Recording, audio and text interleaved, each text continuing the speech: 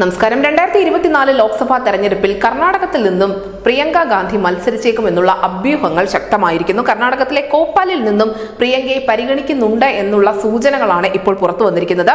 സാഹചര്യം അറിയുന്നതിന് വേണ്ടി മണ്ഡലത്തിലെ പ്രാദേശിക നേതൃത്വത്തെ അറിയിക്കാതെ തന്നെ എ നേതൃത്വം ഒരു രഹസ്യ സർവേ പൂർത്തിയാക്കിയതായുള്ള റിപ്പോർട്ടുകളാണ് നിലവിൽ ദേശീയ മാധ്യമങ്ങൾ പങ്കുവെക്കുന്നത് ബി ജെ പിയിൽ നിന്നുള്ള കാരാടി സംഘടനയാണ് നിലവിൽ കോപ്പാലിൽ നിന്നുള്ള എം പി അതേസമയം മണ്ഡലത്തിൽ പ്രിയങ്കയെ മത്സരിപ്പിക്കുന്ന കാര്യത്തെക്കുറിച്ച് തങ്ങൾക്ക് അറിവില്ല എന്ന് തന്നെയാണ് പ്രാദേശിക നേതാക്കൾ വ്യക്തമാക്കുന്നത്. എന്തായാലും ഈ കോപ്പാൽ മണ്ഡലത്തിലെ എട്ടിൽ ആറ് മണ്ഡലങ്ങളിൽ വിജയിക്കാൻ കോൺഗ്രസിന് സാധിച്ചിട്ടുണ്ടായിരുന്നു. മുഖ്യമന്ത്രി സിദ്ധരാമയ്യയ്ക്ക് ഉൾപ്പെടെ വലിയ സ്വാധീനമുള്ള ഒരു മണ്ഡലം തന്നെയാണ് കോപ്പൽ എന്ന് പറയുന്നത്. അതുകൊണ്ട് തന്നെ പ്രിയങ്ക ഗാന്ധിയെ സംബന്ധിച്ച് അവർക്ക് സുരക്ഷിതമായ ഒരു താവളം ഒരുക്കുക എന്ന കോൺഗ്രസിന്റെ ഉദ്യമത്തിന് കൂടിയുള്ള ഉത്തരമാണ് ഈ കോപ്പാൽ.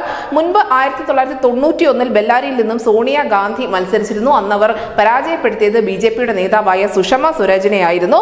മികച്ച വിജയം നേടിക്കൊണ്ട് തന്നെയാണ് സോണിയാഗാന്ധി അവിടെ നിന്നും വിജയിച്ചു കയറിയത്. ആയിരത്തി തൊള്ളായിരത്തി എഴുപത്തി എട്ടിലാവട്ടെ ചിക്കമംഗളൂരുവിൽ നിന്നും മുൻ പ്രധാനമന്ത്രി ഇന്ദിരാഗാന്ധിയും മത്സരിച്ച് വിജയിച്ചിട്ടുണ്ട്. അങ്ങനെ ദേശീയ രാഷ്ട്രീയത്തിലേക്ക് കോൺഗ്രസിന്റെ ഒരു തിരിച്ചുവരവിന് തന്നെ വഴി തുറന്ന ചരിത്രം കർണാടകയ്ക്കുണ്ട്. അതുകൊണ്ട് തന്നെ പ്രിയങ്ക ഗാന്ധിക്കും ഇതൊരു വലിയ തുടക്കം സമ്മാനിക്കുമെന്നുള്ള പ്രതീക്ഷയും കോൺഗ്രസ് പങ്കുവയ്ക്കുന്നു. അങ്ങനെ മുത്തശ്ശിയും അമ്മയും ഒക്കെ പയറ്റിത്തെളിഞ്ഞ മണ്ണിലേക്ക് തന്നെ പ്രിയങ്ക ഗാന്ധി എത്തുമെന്നുള്ള സൂചനകൾ ശക്തമാണ്. ഇതിനോടൊപ്പം ദക്ഷിണേന്ത്യ ഉറപ്പിക്കുക ഒരു കോട്ട കെട്ടി ഉറപ്പിക്കുക എന്ന കോൺഗ്രസിന്റെ ലക്ഷ്യം കൂടി സഫലമാകും. കാരണം നമുക്കറിയാം കർണാടകത്തിൽ പ്രിയങ്ക ഗാന്ധി എത്തുന്നു.